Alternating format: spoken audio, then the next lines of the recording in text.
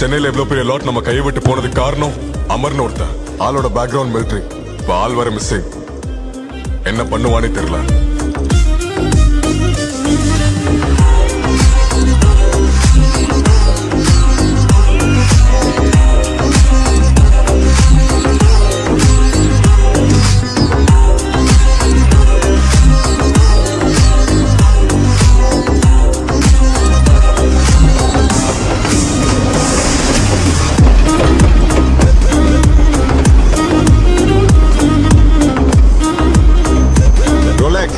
திருச்சியில் நடந்த ட்ரக் பஸ்டுக்கு காரணம் மிலிட்ரியோ போலீஸோ இல்ல.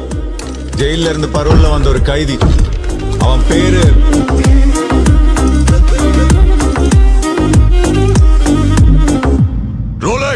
அவன் பேரு டில்லி.